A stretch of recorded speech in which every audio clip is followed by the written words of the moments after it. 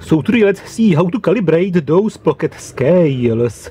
This one comes from eBay for about $4 and of course it was already calibrated in the manufacture but if you wonder how it's calibrated, let's take a look. So let's turn it on. It will show 0 and it has units button to switch the units. And by a long press of this button, you go into the calibration mode. And it says 500 grams, which means that you have to use a 500 gram calibration weight to calibrate it. And you press the button once more, and it briefly says cal, like calibration, and it's blinking now, and you're supposed to put the weight on it. You can cancel it by turning it off. But of course, to be able to calibrate it, you have to have a 500 gram accurate weight. I don't have it, but I found out that the combination of those objects is very very close to 500 grams. This power supply is about 470 plus the battery, 490 plus the pen. And I tried different pens. Some of them have more paint left, so there are slight differences in weight and this one is just the right one. So I can later use this as a calibration weight. So now let's try to calibrate it completely wrong, and then let's try to calibrate it back to the right weight. So let's go into the calibration mode. A long press, a short press, and now it's waiting for the calibration weight. And let's put those two batteries on it. And it says pass, and it basically passed the calibration and now it's calibrated such a way that those batteries are 500 grams, which is of course completely wrong.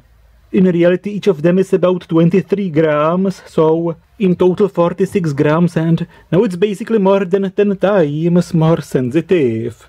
And one battery shows about 250 grams, two batteries 500 grams.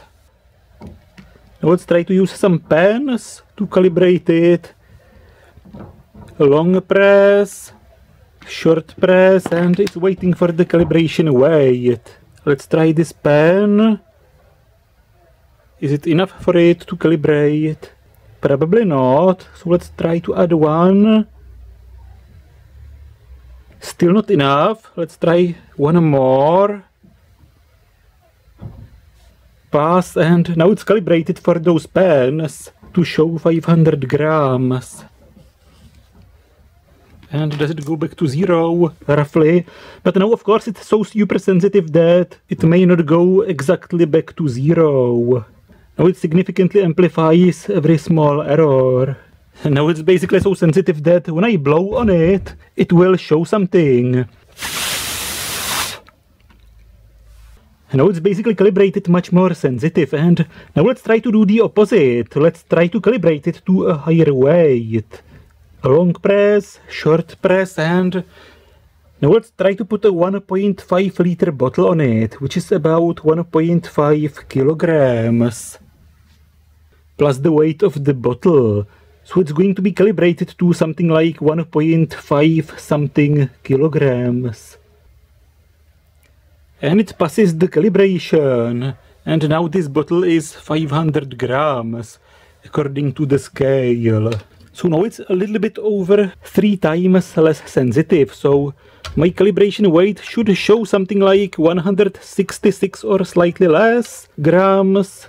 And just as I expected it shows slightly less than one third of what it should show and now let's try to calibrate it back to 500 grams using my special calibration weight.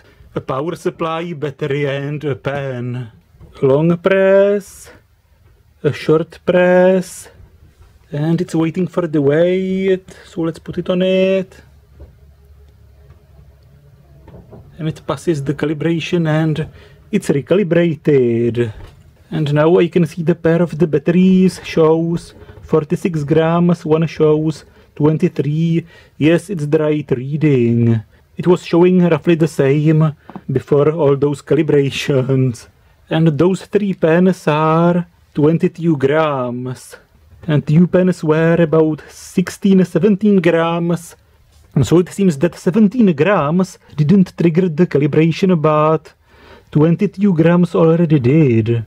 So it seems like that the minimum is about 20 grams for the calibration process to happen.